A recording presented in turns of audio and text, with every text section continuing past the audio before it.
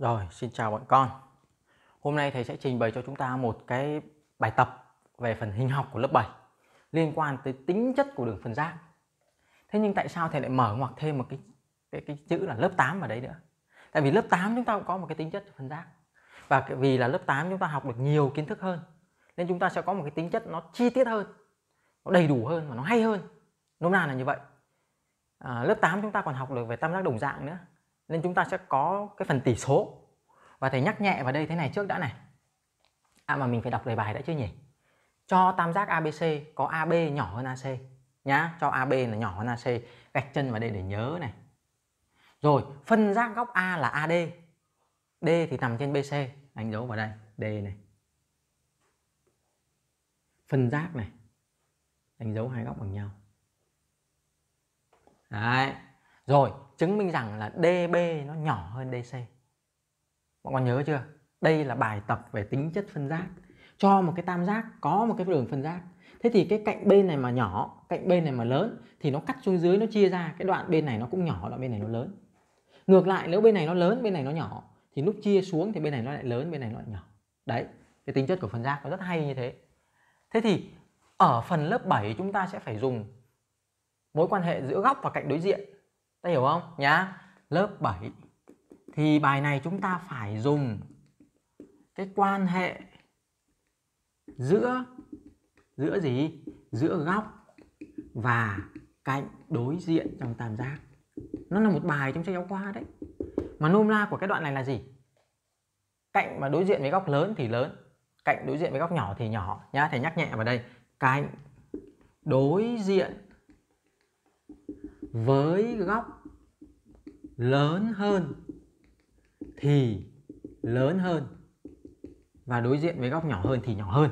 Đấy, lớp 7 thì chúng ta sẽ phải làm như thế và phải nhớ kiến thức. Thế còn lớp 8 thì nó có một cái điều hay ho như thế này là người ta còn thầy sẽ chứng minh cho chúng ta vào một cái video nào đó ở trong phần lớp 8 nhưng ở đây thì cứ chép kết quả ra thôi nhá. Ở lớp 8 là có tỷ số AB trên AC bằng DB trên DC với bài phân giác. Tức là khi chúng ta kẻ một cái phân giác thì chúng ta có cái tỷ số là tỷ số hai cạnh của tam giác bằng tỷ số hai cái đoạn ở dưới. Hai cái đoạn mà chân đường phân giác nó chia ra ấy. Ok không? Nhá. Cái này là lớp 8 chúng ta chứng minh được bình thường và rất đơn giản thôi. Nhưng bây giờ lớp lớp 7 mà thầy chứng minh cho bọn con bằng cách này thì không được. Tại vì mình không có tam giác đồng dạng, không biết tỷ số như thế nào cả. Đấy, uhm, rồi. Thế mà à, cái cái chỗ này này thì lại gợi ý bọn con một tí tẹo là vào. Ví dụ cái tam giác cân nhá thì bọn con thấy nó đúng ngay này. Tam giác cân này thầy vẽ cái tam giác cân thế nào cho nhìn nó đẹp đẹp chút xíu ấy. đây tam giác cân. Thì bọn con học đến bài tam giác cân bọn con biết ngay là gì? Tam giác cân ấy thì cái đường phân giác từ đỉnh của tam giác là đỉnh A xuống đáy BC thì cái đường phân giác nó sẽ rơi vào và chính giữa. Nó cũng là trung điểm và nó cũng là đường cao và nó cũng là phân giác đúng không? Thế lúc đó thì AB với AC là bằng nhau thì cái tỷ số này là một. Đây này AB trên AC là bằng 1 đồng thời cái tỷ số là, có thể đặt là chữ D cho nó giống nhá. Đấy, đồng thời cái tỷ số là DB trên DC nó cũng bằng một, tại vì nó là trung điểm. Thế là hai thằng này bằng nhau. Đấy, người ta có cái bằng nhau. Ok chưa? Rồi, bây giờ, cách một. Thế lại nói coi như là, coi như có định lý ở lớp 8 thì ta thấy là gì? AB trên AC bằng DB trên DC mà mà cái tư duy về hình học ừ, đây là thầy chứng minh thêm cho chúng ta biết thôi còn ở lớp 7 bọn con đừng có chép cái lời giải này ra vở, chép ra vở đưa cho cô là cô trừ điểm đấy. Đây là mình mình tự học, đây là kênh tự học nên thầy sẽ nói những cái thứ mà chúng ta có thể hiểu được và chúng ta cứ tự học đi. Nôm na với nhau là vậy. Mà AB thì nhỏ hơn AC theo giả thiết. Đúng không nào? Thế thì suy ra là AB trên AC nhỏ hơn một, từ đó suy ra là DB trên DC nó cũng nhỏ hơn một, thì có nghĩa là điều này là DB nhỏ hơn DC. Một cái phân số mà tử chia mẫu nhỏ hơn một thì tức là tử nó nhỏ hơn mẫu. Vậy ta có điều phải chứng minh. đấy là xong rồi đấy, chứng minh như lớp 8 thế là xong rồi. Cái này, cái tính chất tỷ số này nó ở trong sách giáo khoa luôn, của lớp 8 luôn này. Nha rồi, cách 2 cách 2 thì bây giờ chúng ta sẽ làm bằng lớp 7 đó là cách 2 là của lớp 7 lớp 7 thì bây giờ mình phải nhấc cái ông DB này. Mà lớp 7 thì đặc trưng của nó là cái gì? Ngoài việc đây là bài trực tiếp mình sẽ phải dùng, thì chúng ta sẽ dùng một cái yếu tố gián tiếp, đó là tam giác bằng nhau, để chúng ta chuyển cái đoạn này nó sang cái chỗ khác, nhá. Lớp 7 thì chúng ta phải dùng cho thầy là tam giác bằng nhau nữa. Tam giác bằng nhau. Rồi suy ra là cạnh bằng nhau nữa, góc bằng nhau nữa. Đúng chưa? Cạnh hay là góc bằng nhau nữa. Đúng không nào? Đấy. Thì ý tưởng như vậy lên, thầy mới nhấc cái cạnh này sang bên này được không? Nhấc cái đoạn này lên chỗ này được không? Để mình đưa cái này về một cái tam giác mà. Cạnh đối diện và góc trong tam giác, chứ bây giờ để nó trùng trục như này thì thì cái hình nó chỉ như vậy thôi và chúng ta gác bút, đóng nắp bút vào. Chả làm được gì nữa cả. Đúng không? Mình phải mở lắp bút ra mình làm. Thế thế thì thầy mới đo cái đoạn AB này nhá. 21 sang đây là 21 ok, thầy đặt nó là chữ E. Để làm gì? Thầy muốn nhấc cái đoạn AB này sang đoạn AE mà E nó sẽ nằm ở giữa A và C bởi vì là AB nó ngắn hơn AC lên AE nó ngắn hơn AC và E nằm ở đây, nối nó vào. Đấy, thì hai tam giác này, hai tam giác này sẽ bằng nhau theo trường hợp cạnh góc cạnh và khi đó cái thằng BD này này thầy sẽ nhấc nó lên đây. BD thì bằng ED việc của mình so sánh BD với DC thì bây giờ đi so sánh à, ED với lại EC à ED với lại DC đúng không? Nhá đấy rồi nói nôm na thế bây giờ bắt đầu vào việc.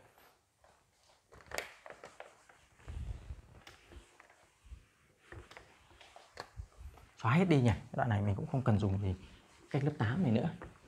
Nào bây giờ bắt đầu này. Vì AB nhỏ hơn AC nên khi lấy E thuộc AC sao cho AE bằng AB thì thì E nằm giữa A và C. Cái này hiển nhiên thôi. Nhá. AE nó ngắn hơn AC mà. Thì E nằm giữa A và C, vậy thôi. Mở ngoặc như hình vẽ. Xong. Bây giờ chúng ta mới xét hai tam giác. Xét hai tam giác đó là tam giác ABD và tam giác AED. Chúng ta có cái gì? Chúng ta có AB thì bằng với AE. Mở ngoặc, hình vẽ hay là cách chúng ta vẽ thêm. Thế rồi góc A1 thì bằng với góc A2. Mở ngoặc do điều kiện phân giác. Định nghĩa của phân giác là A1 nó bằng A2. Hay là theo giả thiết cũng được. Thế rồi AD là cạnh chung. Thì từ ba cái điều kiện này chúng ta mới suy ra cho thầy ở đây là tam giác ABD bằng tam giác AED theo trường hợp cạnh góc cạnh đúng rồi cạnh góc cạnh. Rồi chúng ta suy ra là BD thì nó bằng với ED cạnh tương ứng nha cạnh tương ứng. Tức là chúng ta nhấc cho thầy được cái đoạn này nó sang đoạn này. Thế thì à, mở ngoặc vào đây để cho mọi con hiểu là ý tưởng. Ý tưởng chứng minh rằng BD nhỏ hơn CD suy ra sẽ đi chứng minh. Sẽ đi chứng minh. Chứng minh cái gì? Chứng minh là ED nhỏ hơn CD và sẽ gắn vào tam giác ECD đúng không? Đấy, gắn vào tam giác ECD thế thì suy ra sẽ đi chứng minh. Cạnh lớn thì góc lớn đúng không? Chứng minh là góc E1 à đâu, bây giờ mình đang nói là cạnh nhỏ mà. Cạnh nhỏ thì góc nhỏ, cạnh lớn thì góc lớn. ED thì nó đối diện với góc C. Sẽ phải nhỏ hơn góc E1 đây là nháp về mặt ý tưởng trong đầu là góc C này này. Nó phải nhỏ hơn góc E1 ta phân biệt nó với E2 nhá, không cần nhầm, để phải nói ra thế thế khi mà C mà nhỏ hơn E1 thì gì thì cạnh đối diện với C nó sẽ nhỏ hơn cạnh đối diện với E1 vậy là cạnh đối diện với C là cái gì là ED vậy ED sẽ nhỏ hơn CD Được không? Rồi. Thế bây giờ làm sao mà góc nó nhỏ hơn đây? Nào. Bọn con suy nghĩ một tí xem nào. Làm sao mà cái góc C nó lại nhỏ hơn góc E1? không bọn con biết.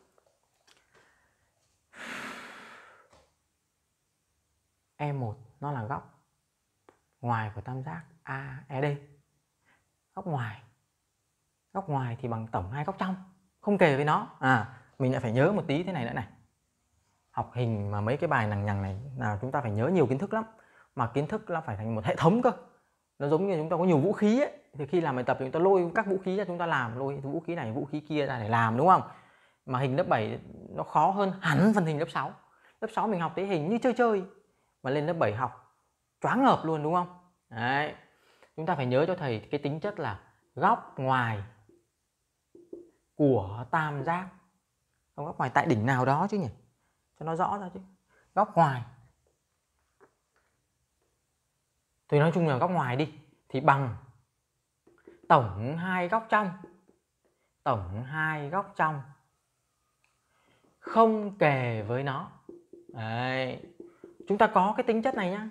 Ở kỳ 1 là thì, thì chứng minh rồi. Nhắc lại vào đây thôi. Cho một cái tam giác ABC như thế này. Đấy. A B C. Thì đây người ta gọi là góc ngoài. Đấy, đây người ta gọi tên nó là góc ngoài. Tại đỉnh B. Thì nó bằng tổng hai góc trong không kề với nó. Chứng minh cực kỳ đơn giản. Đó là tổng ba góc trong một tam giác là 180 thế mà cái góc này cộng góc này cũng 180 vậy thì cái góc này này nó bằng tổng hai góc trong. Thế thôi. Nhá thôi không chứng minh lại nữa. Mình chỉ nhắc lại với nhau thôi. Ai cần xem thì chúng ta tự tìm chúng ta xem cái video về về góc ngoài của tam giác. Chúng ta cứ search cái từ khóa góc ngoài của tam giác là nó sẽ ra rất nhiều video của nhiều thầy cô nói về điều này. Được không nào? Rồi thế bây giờ góc ngoài ờ, dùng thế nào nhỉ? Thầy vừa nói góc ngoài mà. Đây có một điều vô cùng đặc biệt là mình cần so sánh E1 với C. Thì chúng ta sẽ liên quan tới C đi nhỉ? Đây. C. Thế kẻ thế này đi. Cho nó giống cái hình này. Bởi vì góc trong đây mà. Góc trong đây này, hai đây này. Đấy, ta nhìn thấy không? Cái hai này nó lại bằng cái hai này. Tức là góc E đây bằng góc B này. Vậy góc một này phải bằng góc ngoài, đúng không? Nên thôi kẻ xuống dưới này nhìn cho nó đẹp. Đấy, ta hiểu không? Nhá. Cũng là vì vì tam giác ABD bằng tam giác AED. Nên ta mới suy ra là góc E2 bằng với góc B2. Thế thì ta lại suy ra luôn đi. Suy ra là E1 thì bằng với B1. Tại vì chúng kề bù tương ứng. Kề bù tương ứng là cái gì? Là B1 thì nó bù với B2, E1 thì bù với E2 mà hai thằng E2 B2 bằng nhau thì hai thằng E1 B1 nó phải bằng nhau chứ sao? Đúng không? Đấy. Thế E1 bằng B1 rồi mà B1 là góc ngoài tại đỉnh B của tam giác, của tam giác ABC. Thế góc ngoài thì sao? Thì B1 phải bằng góc A cộng góc C. Ok chưa? Thế thì ta suy ra ngay ở đây được điều là gì? Là B1 sẽ phải lớn hơn góc C. Chắc chắn rồi. B1 là tổng của A với C thì B1 nó phải lớn hơn C chứ. Tổng thì phải lớn hơn số hạng chứ. Vì đây là các góc mà. Các góc thì độ đơn vị đo độ của nó là dương. Đơn vị đo góc của nó à số đo góc của nó là dương, không phải đơn vị mà là số đo góc của nó dương. Một cái tổng bằng hai cái số dương cộng nhau thì tổng phải lớn hơn số hạng. Ok. Thế B1 lớn hơn C thì ta mới suy ra là E1 lớn hơn góc C. Thế ta nhìn đi, E1 mà lớn hơn góc C thì suy ra cái cạnh đối diện với E1 là cạnh DC thì phải lớn hơn DC lớn hơn DE đó. Thế thì DC lớn hơn DE mà DE lại bằng cái gì? DE nó lại bằng BD đây này. Vậy ta mới suy ra là DC lớn hơn DB điều phải chứng minh. Xong. Được chưa nào? Cái đề bài thì nó ngắn nhằn vậy ấy, nhưng mà làm bài và dẫn dắt giảng giải ra thì nó cũng tương đối dài đấy không ngắn đâu.